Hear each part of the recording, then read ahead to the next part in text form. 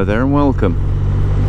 So in this video I'm not going to talk about legal issues and the law.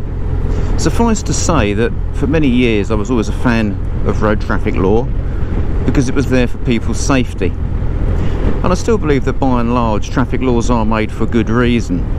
However, in modern times I do have to question the sense behind some of the laws that have been made, particularly the constant reduction in speed limits. But as you probably know from other videos, I've spoken about that before and I'm not going to get into it here. And as I've said before, people make mistakes, people aren't trained to certain levels, there's certain things that people won't see or whatever it might be. And we need to have a little bit of generosity towards other people's skill levels or lack of.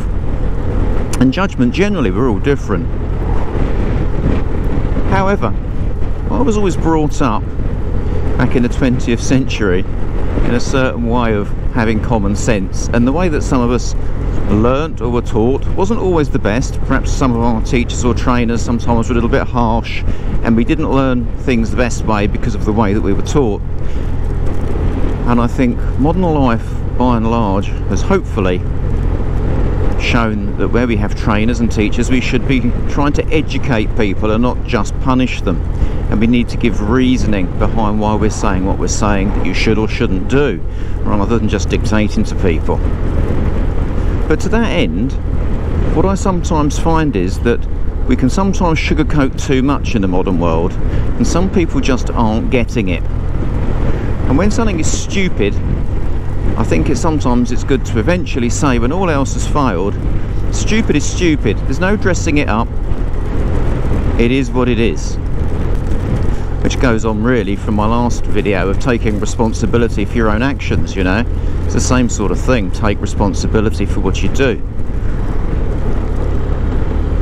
And what prompts me to say all this is that yesterday I was just parked up by the side of the road in a space of less than 10 minutes on a rural road with moderate sort of traffic levels. It was relatively quiet at the time. In that space of 10 minutes just looking at traffic coming in one direction, three people were using their mobile phone. They'd literally just exited a left-hand bend, not a gentle one, a relatively tight one in a 40 limit. And yet it was far more important for them to be on the mobile phone and to concentrate on the driving. And the first one was a, a guy driving a, a tyre services van. So he was don't know what he was doing there but he was clear on his phone. You could see it on his steering wheel. The next was a person driving a red pickup with a private number plate and they were clearly holding their telephone.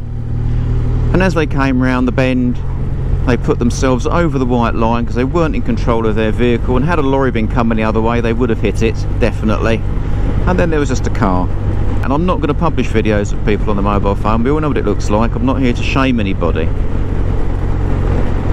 but it begs the question, doesn't it?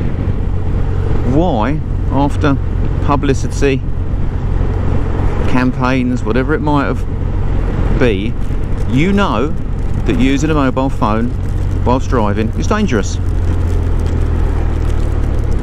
So probably in the same way, why do people drive at ridiculously high speeds or why do people drink, drive or take drugs and drive?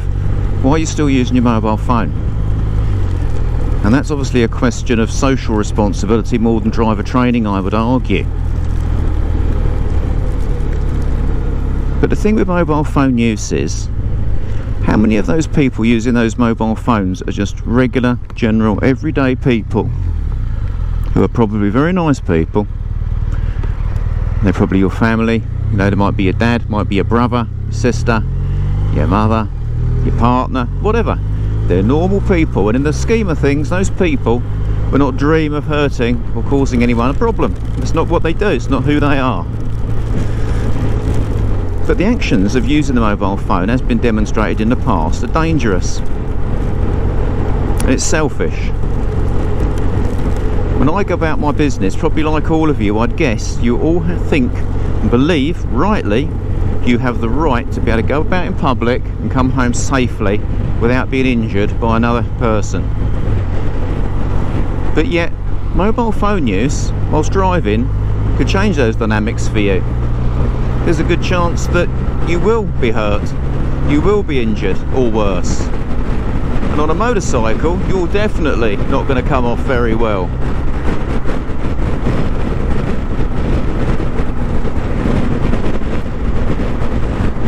I'd really like to know if you are a person who uses your mobile phone when you're driving. And to be honest, you could argue that using your mobile phone when driving is no different than setting up your sat nav and looking at your sat nav screen. Why do you think it's acceptable to drive, use social media, or message people when you're driving? Because if that is that important to you, you should pull over and stop and deal with it properly and not keep driving. So even if you think that you are the best multitasker in the world and actually the law shouldn't apply to you because there is no risk because you're so good at what you do, I think you're probably lying to yourself. You've got a very misjudged level of self-ability. And I'm not trying to be rude to anyone here, but it's about time that people started learning that actually it's dangerous and you compromise people's safety and lives by doing it. I remember an incident, one of many, that was in the news a few years ago where there was a dual carriageway or a motorway, the traffic had all come to a stand and the lorry travelling along in lane one, the driver was using his mobile phone and he didn't see the traffic had come to a stand so he then drove over the vehicle in front of him and killed the occupants outright. And if you've ever seen what a lorry does going over the top of a car, you'll know it's very unpleasant. Why was that guy's mobile phone more important than the people's lives in that car? Just begs the question, doesn't it? I think.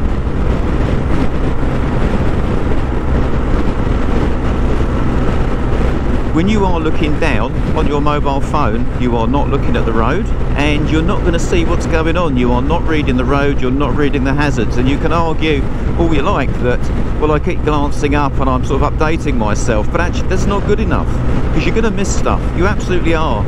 And it depends on what you're doing on your phone how engrossed you are how much of that road you're going to miss. But I do think mobile phones is out there as something quite important that needs individually addressing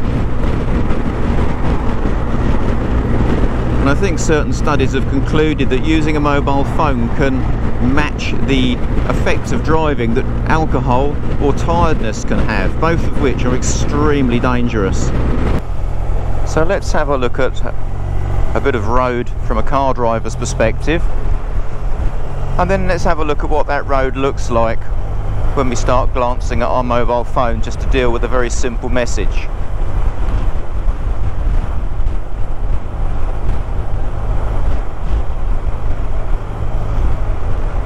So approximately from the time of picking up that mobile phone to reading the message to answering the message, putting the phone back down, between 20-25 seconds ish. Even if you're glancing up in brief periods whilst checking that. You've still got your eye off the ball for a long time haven't you? Well in road use even a second can make a difference if you lose your attention. You times it by 15 by 20, even if you are briefly glancing up as you look at your phone, it's still got a major impact on your driving.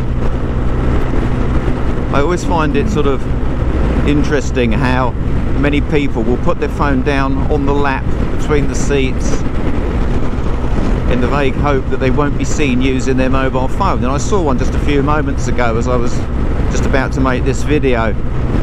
You know, she was glancing down and it's as plain as a nose on your face that you're on the phone. Even though you can't see the phone, people don't drive naturally staring at the bottom of their steering wheel. So it's not clever, you can be seen.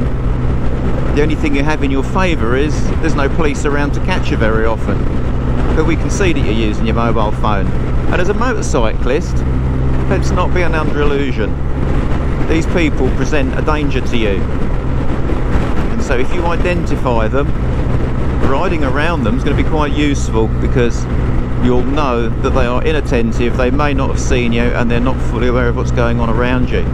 And that's why I like to identify people who are on their mobile phone when we're driving. As I say, I don't want to be rude to anyone. I'm not trying to shame anyone and that's why I'm not posting videos people on mobile phones. However,